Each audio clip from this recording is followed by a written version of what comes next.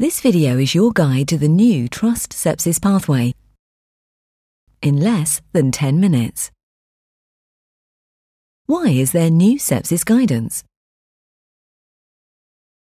Sepsis is a major cause of patient harm and death in the UK and worldwide, affecting about 100,000 patients in the UK, with more than one in three patients dying. Sepsis also costs the NHS £2.5 billion per year. As well as substantial mortality, sepsis is also associated with significant physical and psychological morbidity in survivors in the longer term. Common sources of infection are chest, pneumonia, urinary tract, UTI. Skin or soft tissue. Abdominal. Meningitis. Early recognition and appropriate management are key areas for improvement to optimise patient safety and survival. Not just in the northeast of England, but also throughout the rest of the UK and worldwide. Early appropriate treatment is associated with reduced risk of death. The chance of dying from sepsis with management, according to national treatment protocols, is 20%. But this rises to 44% without the correct management. When patients with sepsis have severely abnormal physiology, this is termed red flag sepsis. Did you know that for every one hour delay in treating sepsis associated with a low blood pressure, there is a 7.6% increase in mortality? These new guidelines have been released in order to equip you with the knowledge and tools required to be able to recognise patients with red flag sepsis early and commence appropriate treatment, whatever your training background. So, how do we improve the recognition of red flag sepsis? Any proof of or suspicion of an infection with any of the abnormal physiological variables, red flags, below are diagnostic of red flag sepsis. Red flags are systolic blood pressure less than 90 millimeters of mercury or mean arterial blood pressure less than 65 millimeters of mercury.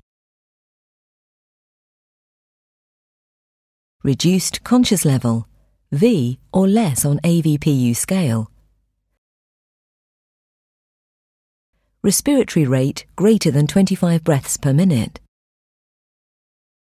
Supplemental O2 requirement to maintain SaO2 greater than 90%. Lactate greater than 2. Purpuric rash.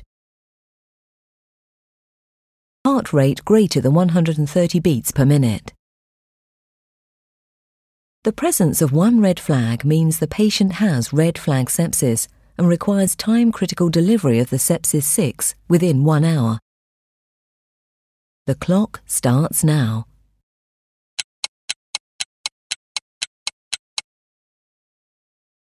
So, what next if you suspect your patient has red flag sepsis? The Sepsis 6 bundle formulates the key treatments to be initiated in the first one hour when you're suspicious of severe sepsis.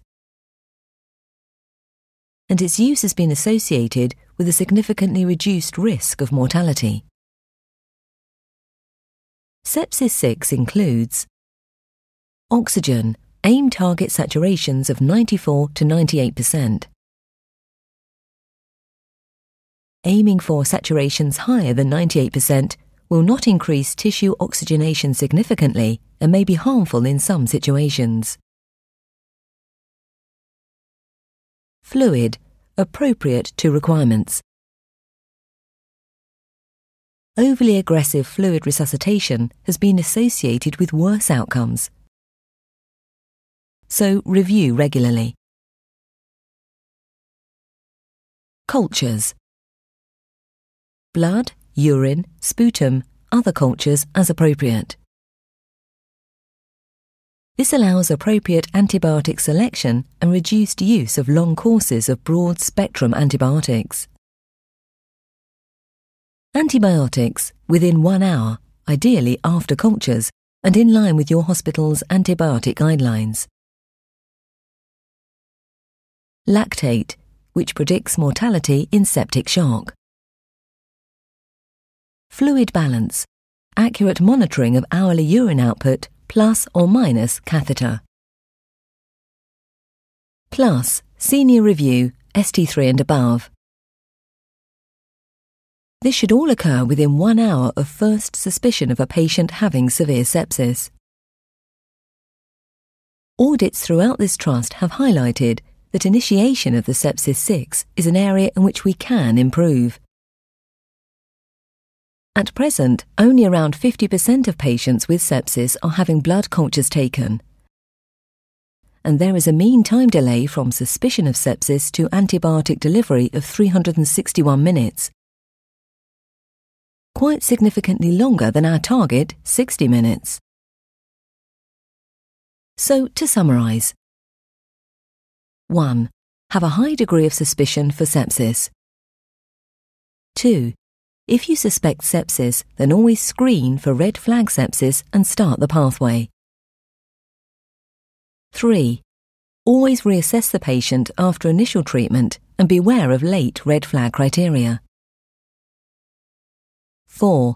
If any red flags present, treatment is time critical and you must act immediately using the Sepsis 6. Together, we can improve our recognition and management of patients with sepsis and tackle this significant cause of patient morbidity and mortality.